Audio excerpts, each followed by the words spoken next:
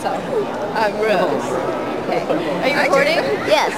This is Rose, and she's a Tai Chi master that came to the China Books I'm not booth. quite master. I'm still learning. But she's going to show me a very simple Tai Chi move.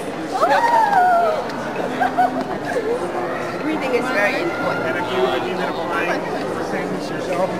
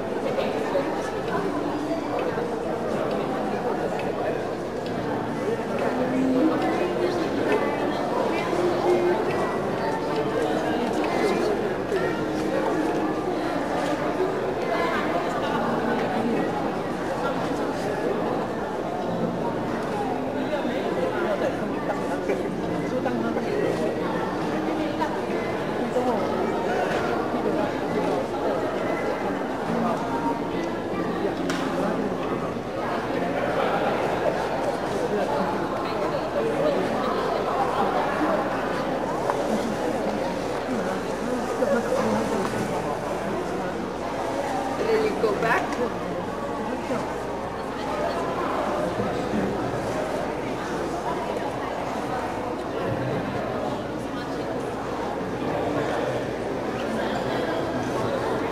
I'm on the wrong leg.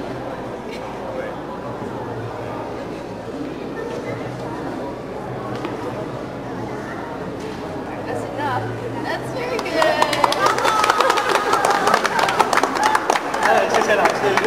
good.